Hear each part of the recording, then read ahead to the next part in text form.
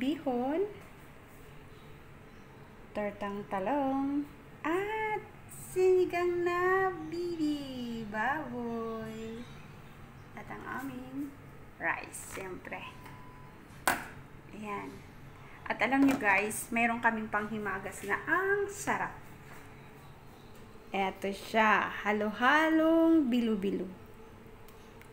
Ayan siya guys. At meron siyang kamuti, saging, kamuting kahoy. Wala nga lang langka kasi kalimutan namin. Yan. At saka yung bilo-bilo. Yan siya. So, di ba? Sarap?